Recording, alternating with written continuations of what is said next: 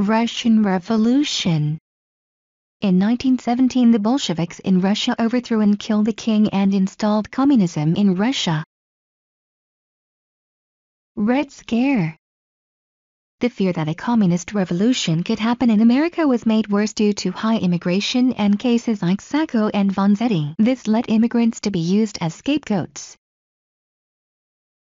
Anarchists believe that countries should not be ruled by organized government but by a system where everyone rules themselves through voluntary cooperation. In 1901 an anarchist had killed President McKinley. Strikes When a group of workers stops working until their employer meets their demands or negotiates. Trade unions when a group of workers organize and nominate a leader who looks after their interests, fights for their rights and negotiates with employers or a government for them. Lynching when someone is killed by a mob without legal approval. In the context of 1920s America, this was usually the KKK killing either black Americans or immigrants.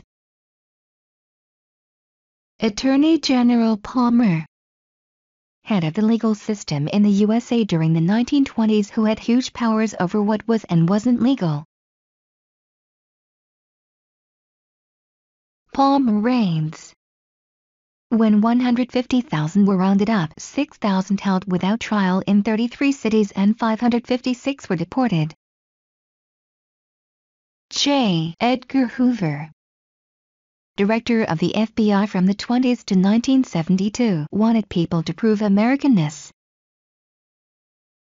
Sacco and Vanzetti Italian radicals who became symbols of the Red Scare of the 1920s, arrested, tried and executed for a robbery murder, they were believed by many to have been innocent but convicted because of their immigrant status and radical political beliefs.